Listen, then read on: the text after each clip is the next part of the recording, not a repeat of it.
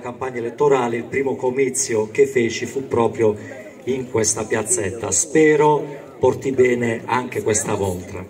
L'altro giorno per caso parlavo con eh, un consigliere comunale di ciò che mi era successo il giorno prima, incontro dei ragazzi che legittimamente stavano facendo volantinaggio, erano naturalmente schierati con altri candidati sindaci e una ragazza mi dà un bigliettino e mi dice cambiamo o perseveriamo? Come dico, scusa? Cambiamo o perseveriamo? Dico, eh, ma scusi, non ti va bene insomma ciò che è stato fatto in questi cinque anni? Non hai visto chi ti sta dietro? Non hai visto le persone che stanno dietro di te, che hanno mal amministrato l'ente per tanti anni? Cosa vuoi cambiare? tu non dovresti perseverare, visto che avete perseverato per oltre mezzo secolo, con le casse comunali svuotate. Questo è successo quando ci siamo insediati. Molto spesso in consiglio comunale si dibatteva, si diceva uh, ma fatti dare il consiglio da un amico, fatti dare un buon consiglio, vogliamo il dissesto poi, siccome io non avevo esperienza di bilanci di enti territoriali, stiamo parlando del luglio 2017, vado a studiarmi la normativa, mi confronto con il segretario comunale, mi confronto con gli uffici e vedo una serie infinita di situazioni negative, anzi terribili, tragiche, a cui avrebbe portato quel predissesto o dissesto, terribili l'aumento delle aliquote, di tutte le aliquote dei tributi comunali, a livello più alto, all'aliquota...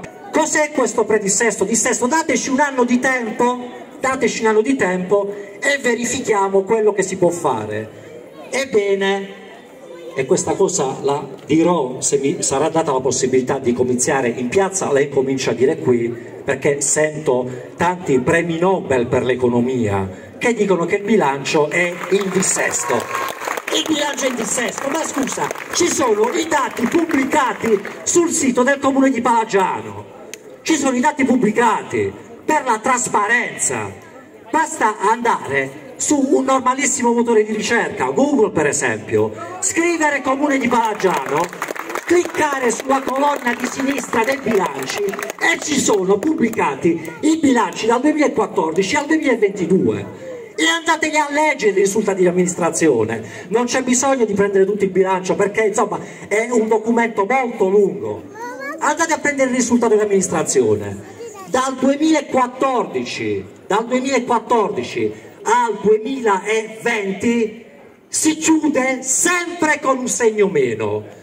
Nel 2021 chiudiamo con più 530 mila euro. Dove lo vedi? dove lo vedi?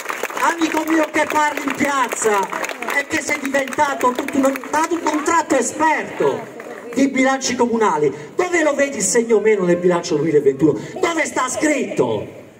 Dove è scritto? Quando hanno fatto di tutto, anche utilizzare le sentenze per far andare a casa l'amministrazione, lo sappiamo tutti. La sentenza alla Torrate, una sentenza del 2015 non viene pagata nel 2015, non viene riconosciuto il debito né pagato nel 2016, nonostante quello per normativa è un debito fuori bilancio, è un debito. Già nel 2015 il bilancio era squilibrato di 450 mila euro perché la normativa dice che quando c'è una sentenza automaticamente se vieni condannato devi inserire, devi riconoscere quel debito in consiglio comunale e lo devi pagare non è stato fatto nel 2015 bilancio squilibrato, non è stato fatto nel 2016 bilancio squilibrato, chi l'ha fatto? Noi nel 2017. L'abbiamo fatto nel 2017 quando andava fatto due anni prima. Bisogna sapere